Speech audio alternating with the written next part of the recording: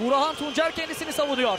2 saniye, 1 saniye Ali Muhammed çembere gönderdi. Ali Muhammed neredeyse isabeti de buluyordu. Çok dengeli atan